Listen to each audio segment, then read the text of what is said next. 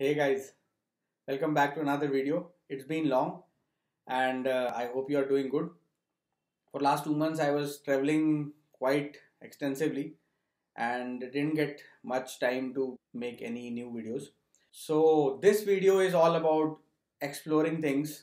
It's about playing with different materials and for the same I just got a new toy or tool you can say.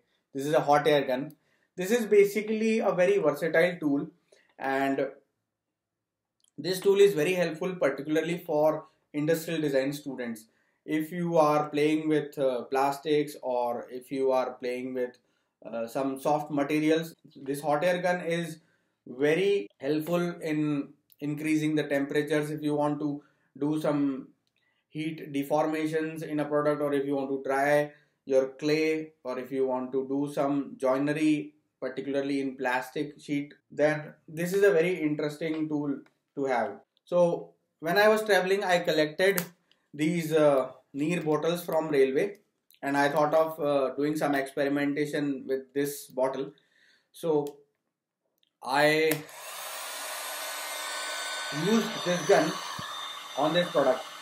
Now the best part is it slowly starts you know melting the plastic and uh, you can see there is some deformation happening at this level. Right? And this way you can play around with these plastic bottles. And it is so much fun creating such shapes. And uh, that's how I like to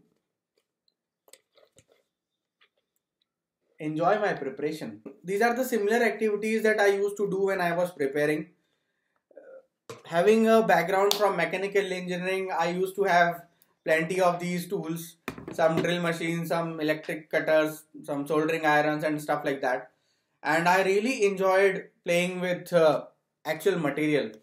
And as you can see, the heat applied on the surface has removed all the ripples or the bends in the plastic and now it has given me a smooth edge.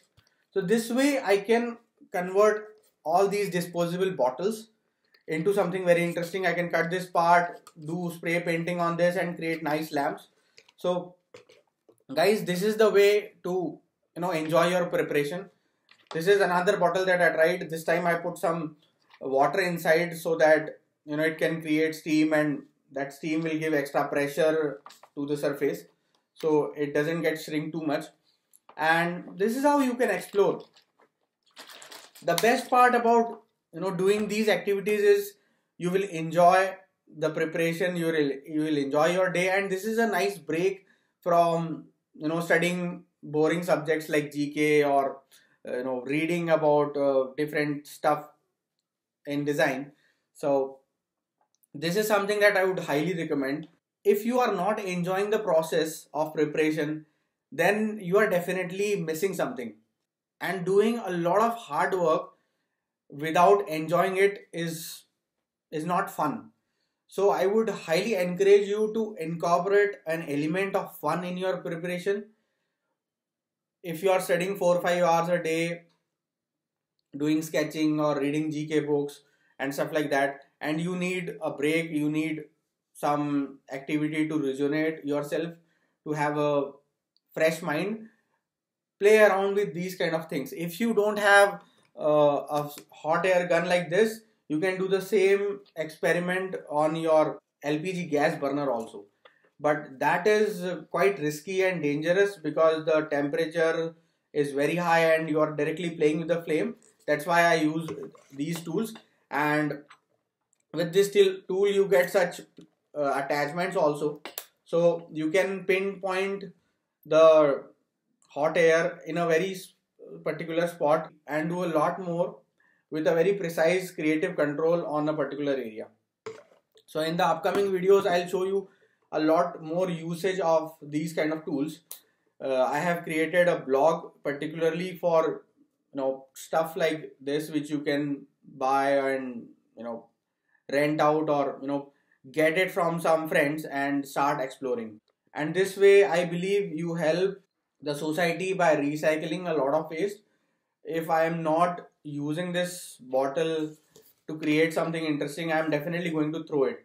So instead of throwing such waste i would encourage you to think about ideas to recycle things like this and contribute positively to the society. So i hope you enjoyed this video stay tuned there will be a lot of upcoming videos about different aspects of design preparation till then Bye bye.